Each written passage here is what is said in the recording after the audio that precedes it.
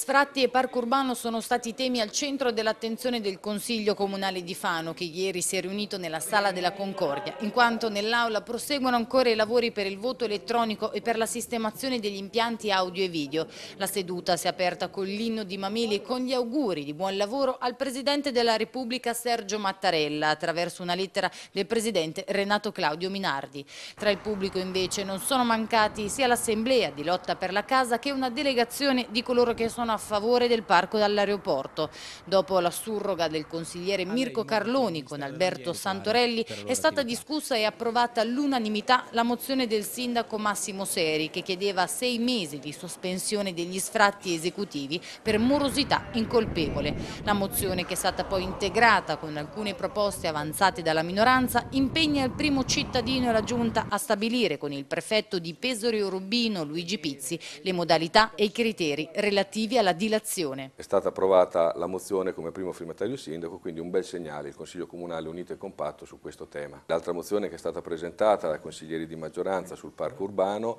che eh, ha come fine quello di eh, procedere velocemente verso la progettazione quindi poi la realizzazione del parco urbano. Ovviamente il parco urbano è un tema che sta a cuore a tutti, tant'è che anche questa mozione è stata approvata all'unanimità da parte di tutto il Consiglio Comunale. L'obiettivo è quello di acquisire le aree, ma ormai passi avanti importanti sono stati fatti, nel senso che ci sono già provvedimenti che eh, prevedono la, il passaggio di proprietà del bene demaniale al Comune di Fano e nel contempo si vuole andare avanti con la progettazione, quindi progettare il parco per poi realizzare questo che sarà un bene che dovremo lasciare alle future generazioni. Quindi tanti sono gli spazi che in un parco devono essere realizzati e tante quindi devono essere le possibilità che ognuno può eh, in qualche modo eh, avere e, e spazi all'interno dei quali si possono avere fruibilità diverse.